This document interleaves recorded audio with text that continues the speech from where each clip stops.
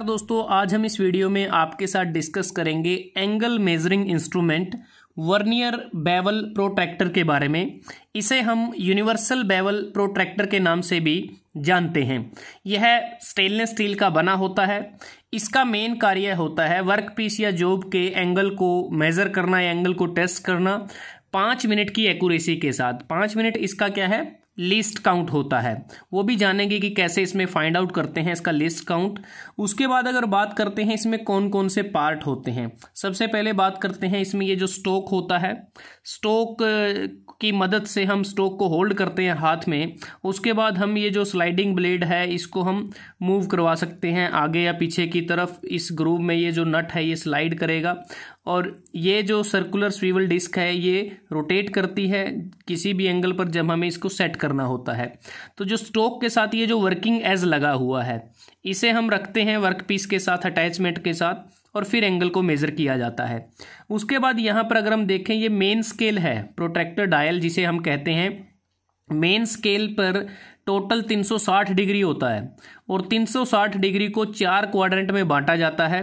प्रत्येक क्वाड्रेंट में zero degree से 90 डिग्री के बीच में मार्किंग की जाती है। हर 10 डिग्री के बाद जो मार्किंग है वो दर्शाया जाता है। अगर आप यहाँ पर देखें ज़ीरो के बाद 10, 20, 30, 40, 50, 60, 70, 80, 90 फिर वो ज़ीरो से शुरू हो जाएगा। तो इस प्रकार 360 डिग्री को चार क्वाड्रेंट में बांटा गया है। उसके बाद अगर हम बात करते हैं स्लाइडिंग ब्लेड की, ये जो स्लाइडिंग ब्लेड है, बिल्कुल एडजस्टेबल है। आवश्यकता के अनुसार हम इसे चेंज कर सकते हैं। जैसे ये आपको 150 मिलीमीटर mm का नज़र आ रहा है तो यहाँ पर दूसरे भी अवेलेबल हैं 200 मिलीमीटर mm में 300 मिलीमीटर mm में ये हमें अवेलेबल हैं। उसके बाद हम बात करते हैं कि यहाँ पर जो ब्लेड लॉकिंग नट है, ये बेसिकली जो स्लाइडिंग ब्लेड है, इसकी पोजिशन को लॉक करने में ये प्रयोग होता है। यहाँ पर वर्नियर स्केल आपको नज़र आ रहा है। वर्नियर स्केल में अगर हम देखें, ये टोटल इसमें बारह डिवीज़न होती हैं और एक डिवीज़न पाँच मिनट को दर्शाती है, क्योंकि एक डिग्री में टोटल साठ मिनट होती हैं। तो जो बारह डिवीज़न इसमें हैं तो वो टोटल साठ मिनट को दर्शाती हैं, लेकिन एक सिंगल डिवीज़न पाँच मिनट के लिए पाँच मिनट को इंडिकेट करती है। जैसा आप इस डायग्राम में अगर आप यहाँ पर देखें कि इस ज़ीरो से लेफ़्ट साइड में भी बारह डिवीज़न है, ज़ीरो से राइट साइड में भी बारह डिवीज़न है। तो देख सकते हैं, एक, दो, तीन, चार, पाँच छ सात, आठ, नौ, दस, ग्यारह, बारह। तो ये ज़ीरो से बारह मतलब वर्नियर स्केल पे बारह डिवीज़न है। उसको फिर से रिपीट किया गया है। और इस प्रकार अगर हम लिस्ट काउंट इसका फाइंड आउट करें, क्योंकि जो मेन स्केल पे जो एक डिवीज़न है, जो स्मॉलेस्ट डिवीज़न है, वो एक डिग्री को इंडिकेट करती है। और वर्नियर स्केल पे टोटल डिवीज़न कितनी है? बारह है। एक डिग्री में कितने मिनट होते हैं? साठ। साठ को बारह से डिवाइड करें तो पाँच मिनट। ये इसका लिस्ट काउंट है। तो मतलब कि लिस्ट काउंट किसी भी इंस्ट्रूमेंट का वो मिनिमम मेज़रमेंट है जो हम माप सकते हैं। मत इस इंस्ट्रूमेंट के द्वारा जो मिनिमम एंगुलर मेज़रमेंट है, वो हम पाँच मिनट की कर सकते हैं। उसके बाद है ब्लेड लॉकिंग नट की हमने बात कर ली है। Angle locking nut. कि यहाँ पर ये जो सर्कुलर स्वीवल डिस्क है, ये रोटेट करती है, जिसे हम जहाँ चाहें उसको रोक सकते हैं एंगल लॉकिंग स्क्रू की मदद से या एंगल लॉकिंग नट की मदद से लॉक कर सकते हैं पोजीशन को। और यहाँ पर वर्नियर स्केल हमने अभी डिस्कस किया था।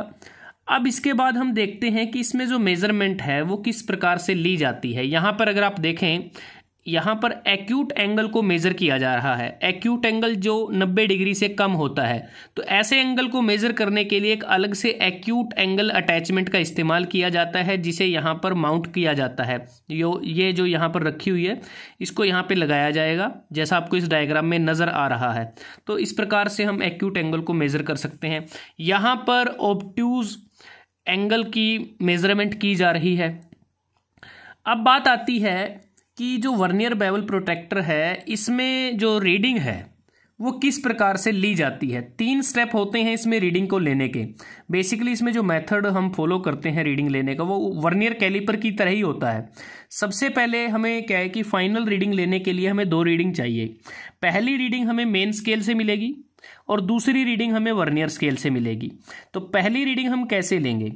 कि जब हम किसी भी सपोज़ करो जैसे हमने एक वर्क पीस को इसके अंदर रखा है, उसके बाद हम रीड करते हैं कि मेन स्केल पे हमारी रीडिंग कितनी आई है। वो कहाँ से कहाँ तक मेज़र करते हैं? ज़ीरो जो मेन स्केल पर ज़ीरो है और वर्नियर स्केल के बीच में जो ज़ीरो है, उसके बीच में जो टोटल नंबर ऑफ़ डिग्री कितनी हमने कवर की हैं। एग्ज़ाम्पल के तौर पे हम मान लेते हैं कि सपोज़ करो कि सेवेंटी टू डिग्री हमारा आ जाता है। मेन स्केल पर हमारी जो रीडिंग है वो सेवेंटी टू डिग्री आती है।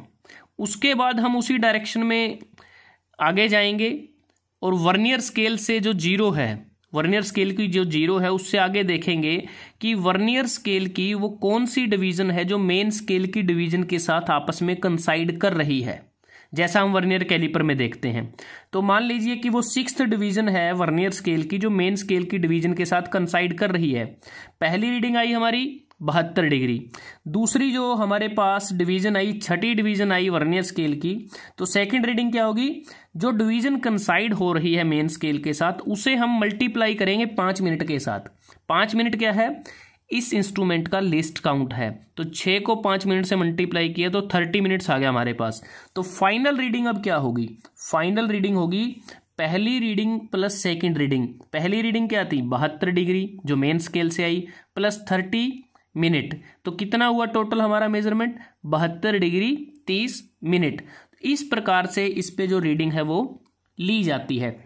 अगर आप यहाँ पर भी देखें कि अलग अलग तरीक़ों से इसको यूज़ किया गया है अलग अलग वर्क पीस के सेप पर कि कैसे वर्नियर बेवल प्रोटेक्टर को इस्तेमाल किया जाता है।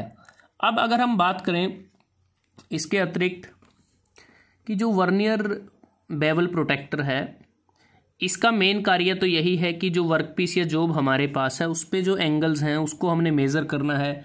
एक एक्यूरेसी के साथ मेज़र करना है। जो एक्यूरेसी क्या है? पाँच मिनट की है। अगर डिग्री में इसको कन्वर्ट करते हैं, वो ज़ीरो दशमलव ज़ीरो आठ तीन डिग्री बनती है, या फिर वन बाई ट्वेल्थ बनता है, जैसा हम यहाँ पर इस पर दिखाया गया है। स्टेनलेस स्टील का इसका और मटेरियल होता है। और यहाँ पर ये ये जो नट आपको नज़र आ रहा है, ये इसकी जो फाइन एडजस्टमेंट हमें करनी है, तब इसका इस्तेमाल किया जा सकता है। और यहाँ पर ये जो ग्रूव है तो इस ग्रूव में क्या होता है कि जो स्लाइडिंग ब्लेड है, वो आगे या पीछे वो स्लाइड करता है।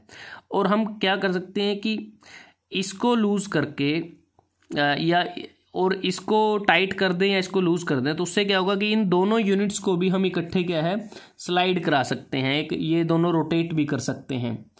अब बात आती है कि जो वर्नियर बेबल प्रोटेक्टर है, इसका इस्तेमाल कहाँ करते हैं? जो मशीन सोप वर्क होती है, वहाँ पर इसका इस्तेमाल किया जाता है। तो दोस्तों, आज हमने इस वीडियो में आपके साथ डिस्कस किया वर्नियर बेबल प्रोटेक्टर के बारे में। अगर आपको ये वीडियो अच्छा लगा, आप इसको लाइक कर सकते हैं शेयर कर सकते हैं अपने दोस्तों के साथ स्टूडेंट्स के साथ। और जल्दी हाजिर होते हैं एक नए वीडियो के साथ। तब तक के लिए धन्यवाद। आपका दिन शुभ रहे।